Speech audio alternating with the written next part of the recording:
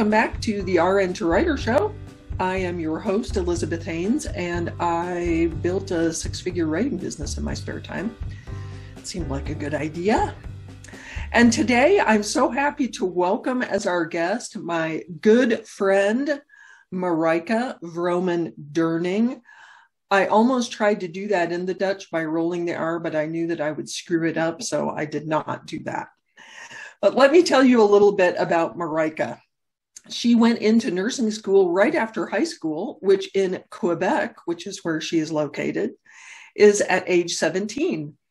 After many years of working the bedside and as a clinical supervisor and instructor, she began writing and editing medical and health information around 1993. So, yes, we have one of the original nurse writers with us today. After dislocating her shoulder in a freak accident, Marijke gave up clinical work permanently in 2010 and focused on writing and editing ever since. She has written for various print and online outlets such as Costco Connection, Forbes.com, Parade, Memorial Sloan Kettering, and many more, and is currently the director of content for um, the Sepsis Alliance. When asked for an elevator pitch, Marijke usually says that health writing is like the patient bedside teaching nurses are supposed to do, but never have time for. Man, I couldn't agree more with that. And instead of sharing information with one patient and family at a time, she's now reaching thousands of people. Thank you so much for being on the show, Marijke. It's good to be able to chat with you. It's been a while since we chatted, I think. It has. Thank you for having me. Thank you for inviting me. Absolutely. One of the first things that I wanted to ask you about was how did you come to discover that you could be a writer? I mean, this was back in 93. This was before the web, basically, not before the web, but before the web had, mm-hmm. you know, become before huge. So, yeah. So, how did you find out that you could be a writer? Well, I always wanted to be a writer, and my parents were very highly educated. My father was a university professor, and my mother was a teacher. And they all said you couldn't make a living as a writer, you had to choose something practical. And um, so I chose to be a nurse because um, I knew there would be a job no matter what. There would be always be able to find work. But I never lost the love for writing. And I grew up with computers. My father taught mechanical engineering and computers, and he helped develop the computer lab at McGill. So um, I grew up around computers. So I was an early uh, adopter of everything computer wise. And so in the early 90s, I was online with a very slow modem and I discovered um, some sites that were looking for content. I remember writing a few pieces for free just for the joy of writing. And one of the first ones was on, on Alzheimer's. And I think it was just after Ronald Reagan was diagnosed. So it was around that time. And the more I looked at it, the more I liked it. I didn't know I could do make a living with it. And then when I was working as um, a head nurse at a camp for physically handicapped children, um, there was a teeny tiny little ad in the Montreal Gazette that was some, they were they were looking for a nurse with good writing skills and who knew how to use computers. I'm like, hey, that's me. And uh, I applied for it and I got it. Um, it was for a company that doesn't exist anymore. They were ahead of their time. They were too much ahead of their time. And then when I when that company went under, I started working for Doctor's Guide to the Internet, where I was an editor. And then I was looking at what my writers were doing, and I was thinking, hey, I can do that. They were writing briefs of, of articles and, and conferences and things like that. And then I just one of my writers became managing editor at a patient education place, and she knew I wanted to write, so she asked me to write a few pieces, and it just kind of went on from there. That is awesome. And before the audience jumps on me for saying this was before the World Wide Web. This I do know when the web was invented.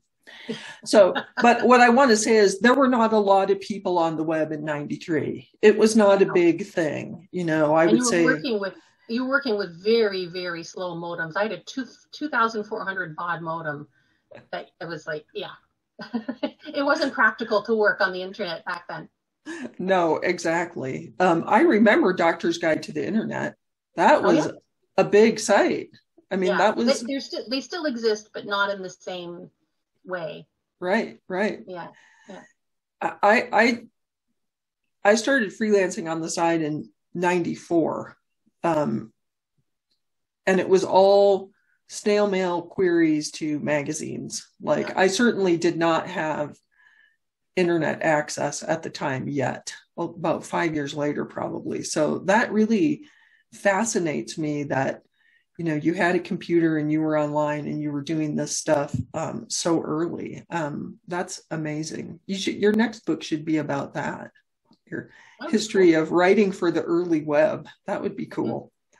Um, anyway you subsequently progressed into editorial positions correct yeah i have worked as a managing editor for a few different places and um, but it's it's not my love. I, I do like to I like to copy edit. I don't like to do substantive editing, and it's I, I find editing actually harder than writing. I much prefer to create the the piece and have somebody else edit it.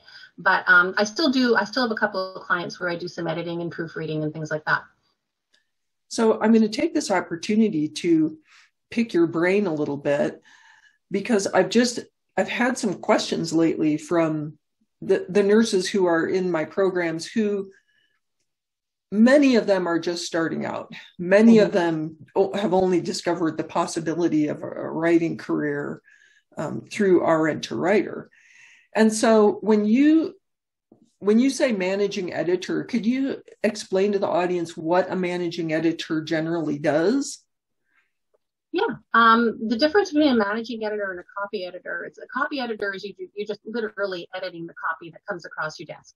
If you're a managing editor, you generally um, are responsible for finding your writers, assigning the articles to the writers, making sure they submit them on time. And you might do the copy editing or you might pass it on to a copy editor depending how large the, the company or the organization is. So when you were serving as a managing editor and people would send you letters of introduction, I'm assuming, or potentially um, article pitches, depending on where you were serving as a managing editor. Can you tell us a little bit uh, in general what sorts of things you looked for or what what might make an LOI stand out to you? Um, well, there's the obvious basics, but unfortunately, some people don't take them to heart. Um, make sure that there's no spelling mistakes um, that I hit the delete button right away. Except, I mean, there are some times where the story, where the pitch, let the pitch is so compelling or the LOI is so compelling that I'll let a spelling error go through because I mean, I make them too. When I'm so, I the best, I, the best way to find out if you have a spelling error is press send because you'll see it as soon as you see it you know, so spelling mistakes do happen but try really, really hard not to because if there's more than one or it's like a really obvious thing that you know it wasn't a typo, um, I, I, tended to delete those right away because I had so many. Um, the other thing is make sure you know who you're pitching because as an editor, there are few things worse than getting an LOI or a pitch that has nothing to do with what I'm doing. And I get a lot, like right now as a writer, I get a lot of pitches from public relations people and they're not even remotely close to what I cover. And um, it, it's it's irritating. And if I had a writer send me something that does, isn't even remotely close to what I'm doing, if they sent me a second one, if I recognize the name, I might not even look at it again um, because the first one was so far off the mark. It's just like really know who you are um, pitching to, know the name, if possible, of the person you're pitching to, spell it right, um, I know my name can be hard to spell, but it's not hard to spell if you directly copy and paste it. Um, so like a lot of the the polite things that we're taught on how to reach out to people, you know, don't. This might be a generational thing, but I hate it when I get an email that starts, "Hey," I just don't like it. you know, so keep in mind the the generation that you might be pitching. You know, I mean, it's a personal thing. Other people don't mind getting "Hey." I don't like it. So I think it's easier to stick to the basics, you know, dear so and so, or hi, good morning, good afternoon, you know, something that is less gut, you know, like a something that might make you react in a, in a not in a bad way, but you know, just keep in mind that all generations of people do these do this work. Um, the other thing is don't assume that the editor is a he or a she. Uh, I get a lot of dear Mr. learning because they don't recognize the name Marijke you know, so, so, so keep that in mind. I mean, it's not the end of the world, but if I have several letters to choose from, I I will choose the one that has the least number of those mistakes or errors or things that I don't really like. Um, and you know, it really does come down to gut. You know, does does this person does it from reading the letter does it look like this person can write what I want? You know, it, it is the letter really long, lots of passive voice, lots of explanation that isn't really there. Web writing is very short and concise. You know, academic writing is different, but web writing is short and concise. So write your LOI in the form of the article that you would write grammatically, that sort of thing. That's that's those are sort of the things I look for. And of course, you really need a compelling story. You know, look at the magazine or the website to see if they've already done something on that topic. If they have done something on that topic, how is your approach different? You know, it might have been a year since we covered a topic. So there might be new studies, there might be new medications, there might be new whatever. So why should you write the story and how does it differ from something that's already there? So that's pretty well it. Wow, so much useful information mm-hmm. in there. Thank you so much, Marijke. I mean, just to encapsulate, you said, you know, focus on the fundamentals, spelling, yep. punctuation, it needs to be there I agree with you completely about using a more standard greeting. I usually say hello, hello, so and so. I do, I do think maybe it's a generational thing about the hey. I mm-hmm. work with a lot of younger people and they say hey, but I know yeah. too. I, I loved what you said about write your LOI in the style of what you're right. proposing to write for them. And I think that a lot of um, aspiring nurse writers don't realize when they write to me, I'm using the same I uh, on what they write me, not in a judgy way, like not, I don't think you have the talent to do this. What I mean is, I, I get messages from aspiring nurse writers that are writing in texties. Yeah. You know, it's got it, it, very little punctuation, like, and maybe they did just bang it out on a thumb keyboard while they were on break. Um, that thought crosses my mind. But what I think to myself is if you want to make your profession as a writer, every time you write something, you should be mindful of how it's going to be perceived by the recipient and uh-huh. you should make it as good, um, as clean, as engaging as possible because that's how you want to make your living. Right. And I, I feel like you validated that in your response, you know, especially if you're sending an LOI to somebody or a pitch to an editor, make sure it's clean. Well, I, uh, you can also look at it as a first interview if you're going for your first interview for a job, you're going to make sure you look decent. You're going to make sure your hair is combed, well, like mine, you know. But you're you're going to make an effort. So it's it is an interview in some respects. You know, you're introducing yourself, and you want the person to see what you can do. And um, it's a one-sided interview, but in a way, that's what it is too. Your hair is legendary, Marijke. It, it should have its own fan club. I think it's it's gorgeous in my opinion, but I understand the curly hair thing. no, you're absolutely right. It's your first impression. Yeah. Um, I think there's a fine line between getting really uptight and wound up and making creating the perfect LOI that doesn't get sent right. and balancing that with have someone else look at it or run it through Grammarly or you know take advantage of you know compose it in Word and then fix any formatting when you paste it into your email or there I think that there's a balance there. Like yeah. don't let perfectionism stop you from sending it out but do make sure that you know it makes a good first impression. Yeah. I think for sure. Um, I appreciate that. Thank you so I, I had said I just came out of my um, stat program group coaching literally 10 minutes ago. I told them that I was interviewing you. And I said, one of the things I love about Marijke is she has opinions and she does not hold back from her opinions, which I think is fantastic. Honestly, like I saw something you posted on LinkedIn about stop asking us for free sample stuff because it's crap and we're yeah. fed up with that. Like, I don't can't remember if you said it or I think somebody said it in the comments of your post of, you know, if if you're going to hire a plumber, you don't say, "But I want you to fix this faucet for free first, yeah. so I can make sure that you know what you're doing." I mean, come on. Yeah, anyway, exactly. I wanted to ask you specifically when you've been in an editorial position working with freelancers, what do freelancers do that drove you insane? Um, not usually the first article. well, the basics goes back to the basics. Make sure you're you're doing your your spell checks and you're sending it in as formatted. Um, some editors are very picky and they want like a specific font and they want a specific size. And if that's what they say you they want, you have to do that. Personally, I don't care. It just takes a click to put it the font and the size that I want. But if the editor says send it in Arial 12, send it in Arial 12. Don't send it send it in New York Roman whatever 10.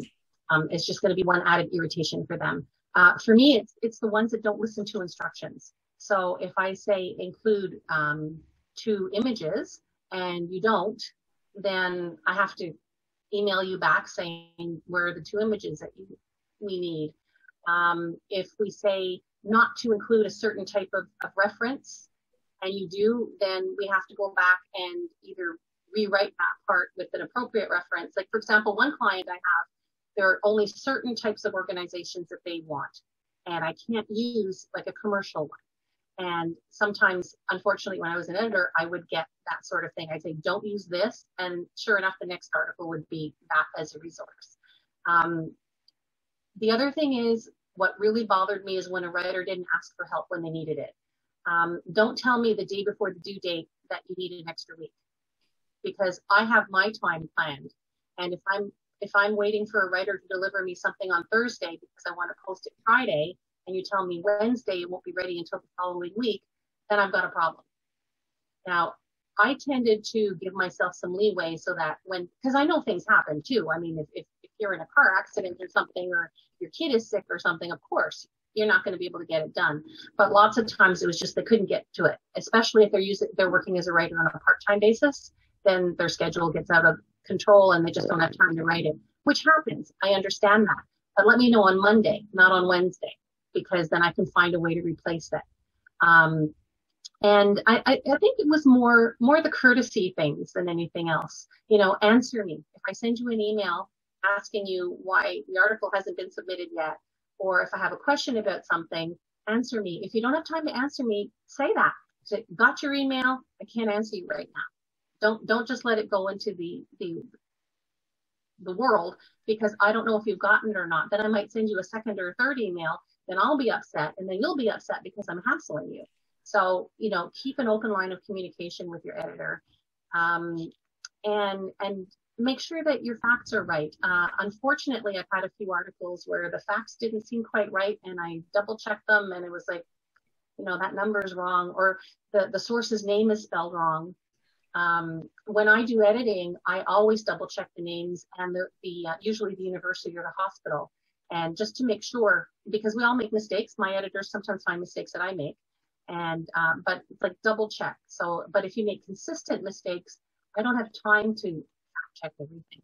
I'm depending on you. I've hired you as a writer. I've hired you for your expertise which includes research.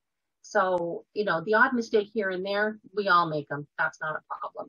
But if you're consistently making mistakes then then i'm going to seriously think about whether i will use you again for another article I thought it was illuminating when I interviewed Marna Palmer from Studio ID, and mm-hmm. she was talking about um, looking for writers or evaluating LOIs, and the the phrase she used was "take a risk" or mm-hmm. "take a chance." She said, "If I if I like don't see a, a, strong LinkedIn presence or a website, I don't know whether I should take a chance on that writer or not. And I have told my mentees, this is how editors view you, that mm-hmm. it's it, it's risky to hire freelance writers. And again, so much great information in what you were just saying, which is, though I want to point out to the audience, entirely attainable. Like,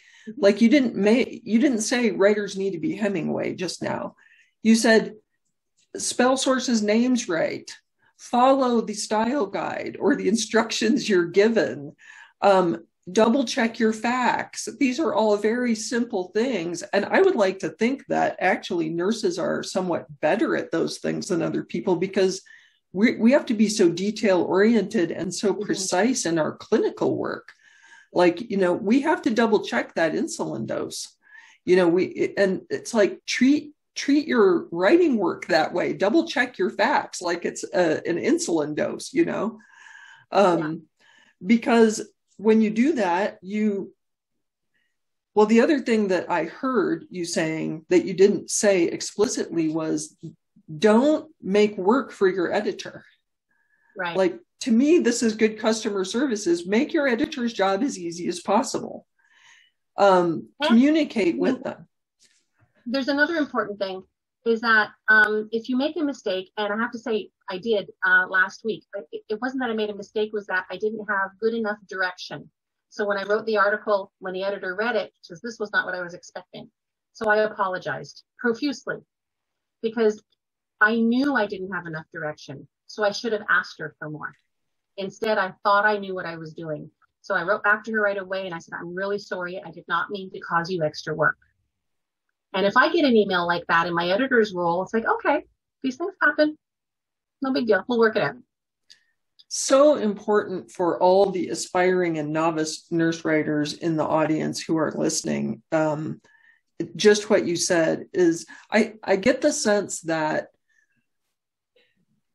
these novice writers are afraid to communicate anything bad or negative to their contact or their editor and it, the situation is quite the contrary. We all, as writers, run into situations. Gosh, I know you and I, you and I have run into situations over the years many times where, for example, sources no showed us. Mm-hmm. And we had to contact our editors and say, I, I can't, I couldn't get this source. I'm trying, scrambling to line someone else up, but I can't deliver on time. Those things happen and it's not like you're going to get fired from the project necessarily if you contact your editor to tell them this. Um, indeed, it's better to call them as soon as something like that happens, or you know, email them and say, "Oh no, you know, so- suddenly things were going south," or like you said, you know, my schedule got away from me. Um, I'm doing my. And sometimes the story doesn't work. We've all had an, an assignment from an editor and we think, yeah, this is really cool. And then we start to research it and we start talking to people. It's like, there's no story. Exactly. We have a mutual client that, that that happened to me more than once because sometimes these story assignments come from people who are not even um, in the editorial end, they're on the SEO end. And they're right. like trying to construct a story around keywords. So they want a story on, you know, some topic that has these keywords and you start looking into it and like you said oh there's no story there there's yeah. really really nothing i can write about that and with health and medical writing usually the editors and the assignment people don't have any medical background or health background so what seems to them like a really good idea is you're like no it doesn't work that's not a good premise exactly i think especially those of us who are nurses turned writers we all have funny stories where Mm-hmm. people tried to put together like health topics that just are totally unrelated like write us a you know write us a story about how blood sugar can you know give you psoriasis or you know and you're like no that just doesn't happen uh, in health in pathophysiology i don't think there's anything there um, anyway so that that was terrific information. I, I, appreciate you sharing all of that because I know the audience is going to take away, first of all, a sigh of relief of, oh, good, whoo, if I email the editor and say something is going on or I need more direction. Mm-hmm. This is something earlier this year, after how many years of doing this, I had a situation that you like you just described where I got an assignment, thought I knew what I was doing, and then went, oh, no, I need way more details about this, and had to go back to my editor, I think, a couple of times. And she was not annoyed with me at all because the more you can work that out in advance, the better the story is going to be when it gets to the editor, you know? Exactly. Yeah. Um, so, anyway, so now you are the director of content for the Sepsis Alliance. Yeah. And Yeah. it's it's sepsis month, right? It's Sepsis Awareness Month. It's our 10th um, Sepsis Awareness Month. And um, I'm, I'm, I am a freelance writer, but I'm a part-time contractor for Sepsis Alliance. And uh, so if you go to sepsis.org, that's uh, if you all the the patient facing, the consumer facing uh, information, I wrote most of that. So and that's really what I love to do.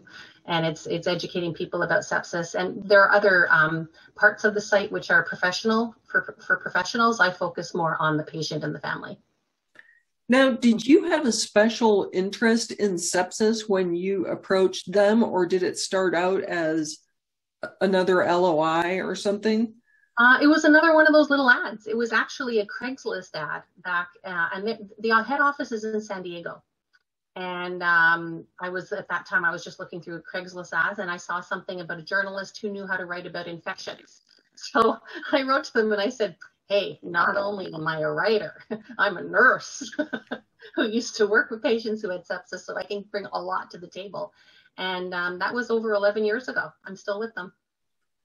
That's that's amazing. I always appreciate um, seeing your posts on sepsis because I think it's so misunderstood. I myself don't have the greatest grasp of like what constitutes sepsis, and it's so educational to read what the alliance puts out. Uh, so helpful.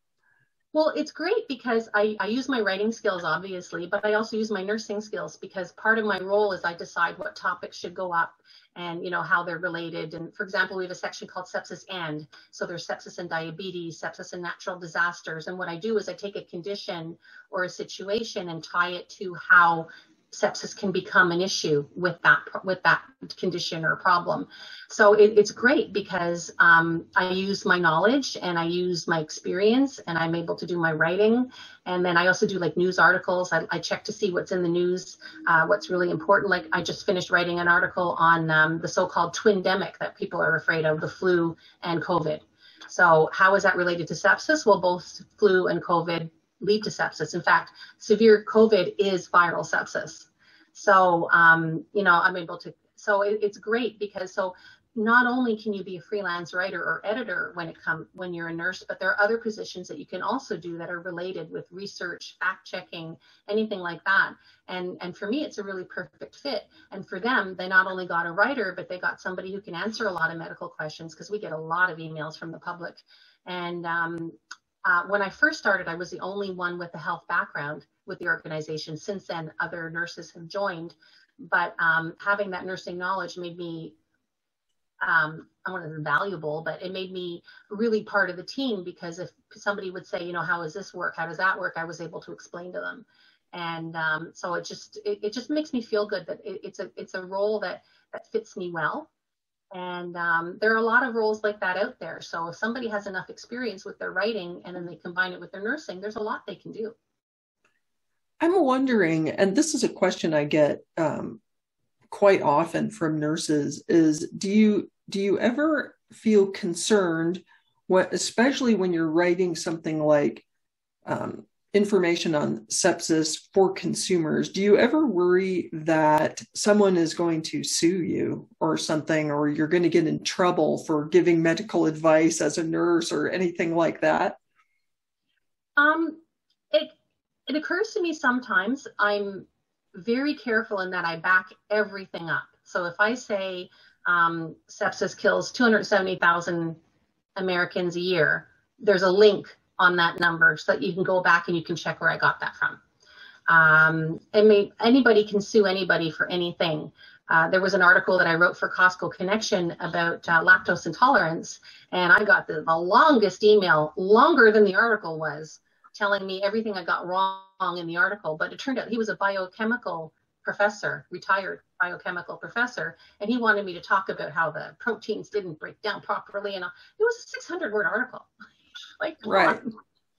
You know, so the concern is always there. Um, I unfortunately can't get a liability insurance because I'm in Canada and American companies won't insure me and Canadian companies won't insure me for work in the US. So I'm very careful about the contracts that I sign. Um, I make sure indemnity clauses are wiped out as much as possible or they make sense. And um, but the concern is is there, you know, because anybody can sue anybody for anything. We know somebody who was it, she was lucky that she had insurance um, but she it was a, a nuisance suit, but it, I think it was like something like thirty-five thousand dollars. I don't remember the exact number. Exact number um, that the insurance had to cover for them to get rid of the nuisance suit, and mm-hmm. it wasn't even something medical. So, yeah, I I tell people, you know, the the chance of getting sued is pretty minuscule. I mean, in the course of our career, we've known one person, and it wasn't even in the health field. Um, but I mean, it's always there. And the indemnification clauses today are just nuts. So yeah. I, I, I had media perils insurance the last couple of years I was freelancing because there's only so much you can do. Um, yeah. Can you can you tell us a little bit about what it's like to freelance from Canada? Because we do we've had so far in our program we've had nurses from six different countries in the world um, including canada. And i i mean i know that the rules and regulations for every country if you want to freelance for like us companies or just companies outside of your native um, or your citizenship or i'm sorry your domicile where you're living um, are different. But what's it like in canada? What um, special issues do you run into or how does it work? Um, well, when I first started freelancing, I sent LOIs to a ton of US companies and organizations. I did that because um, I live in Quebec, and even though I'm fluent in French, I can't write in French. So I, well, I could, but you wouldn't be able to understand most of it. um, and Canada, the, are the the pay rates and everything are not as high as in the US. So, uh, so for some reason, I never really approached Canadian organizations. I just flooded US organizations with my LOIs and, and pitches. Uh, I do have some Canadian clients now, but I started with the US. The only difference is that we fill out a W 8 form instead of a W 9, and that's telling the IRS that we're paying our taxes in Canada. Um, and sometimes it takes the client a bit of convincing that I can write in American. I can write British English, American English, Canadian English, which is a hybrid of the two. Um, I can write it. That's not a problem. Uh, sometimes I have to double check my spell checks to make sure I catch all the, the Canadian spellings as opposed to the US ones. Um, and some companies won't hire me. There have been a couple that one company told me they don't hire foreigners. I don't think of myself as a foreigner, but you know, um, one told me they don't hire aliens. you know, and uh, there was one company that I went through several interviews and they loved me. They really wanted me. That's what they kept telling me anyway. And then they said, Oh, but can you get a license, an RN in, in an, an American state? I was like, No, I have a Quebec license, you know, um, so I didn't get hired for that. So there is a little bit of that. But uh, the vast majority, and as you can see from my experience, um, most of the time it's not a problem. And um, I get paid in US funds and I have an American account in a Canadian bank. So I get a US check or a US transfer and it goes straight there. And I'm just wondering, what difference would it make where your licensure was? Like that, that makes no difference whatsoever. If you're an RN, you're an RN, you're an RN. Or yeah. And I remember when I when I graduated, um, many of my colleagues over the first few years when Texas was looking, Texas and California was looking for a lot of, they came up here to recruit Canadian nurses and they automatically took our Quebec license and switched it to a state license. So, um, you know, yeah. I don't know what their hang up was, but you know, it is what it is. No, and I, um, I appreciated in, in the bio that you sent me that you noted that you went into nursing school directly from high school because a, a, lot of nurses ask me if their educational level is relevant and i always tell them no. I mean i think the more education you have the more you can use that as a marketing advantage. You know you can market yourself as you know a master of science in nursing or a nurse practitioner or whatever. But i don't think that if you can write that your educational level matters at all about succeeding really in this business. You're right. And I do feel self conscious sometimes when I'm interviewing people who are like MDs and PhDs. And, you know, um, I've interviewed several nurse practitioners who have doctorates. And sometimes I do feel a little, well, I have an RN um, kind of feeling. And also because I grew up in academics, it does kind of chafe at me a little bit. Uh, but I think, you know, I don't have a formal writing background. I don't have a journalism degree. Uh, I did study languages later, but that was more out of interest and um, I studied translation and uh, I really just I just love language. It's something I really like. And, but um, I don't have any more formal education after my RN. I do have university courses, but not a university degree because I'm from the generation where you didn't have to have a bachelor's first. You could go straight into the RN. So now it's morphing that they want everybody with an RN to get a bachelor's. Um, but it, I don't think it's held me back. If it has held me back, I don't know. Well, I was going to say, from your history, we can see it has not held you back because you're the content director for the Sepsis Alliance now. So that's a pretty highfalutin title. You know what I mean? Mm-hmm. I, I, share your little trepidation, though, about I, I never went to journalism school either. And I have always, for the most part, refrained from ever describing myself as a journalist because of that. I call myself a reporter. And in mm-hmm. some places, I do call myself a journalist when it matters for SEO but describing myself because I don't have that J school degree, I try to, I just feel too self conscious to call mm-hmm. myself a journalist. I just call myself a reporter.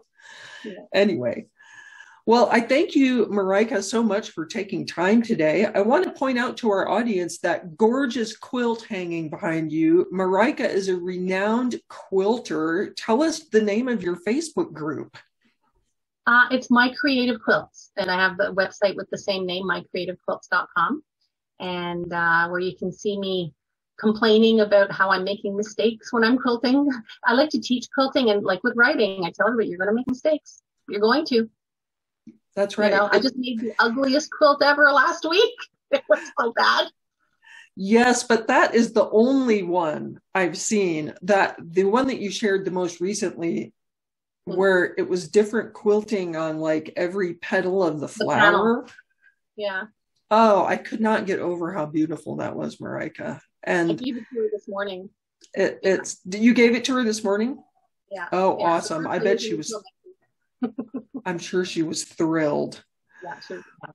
Well, again, I want to thank you, Marijke, for taking time. I've been interviewing Marijke Vroomen Durning, a nurse writer, one of the original nurses turned writers.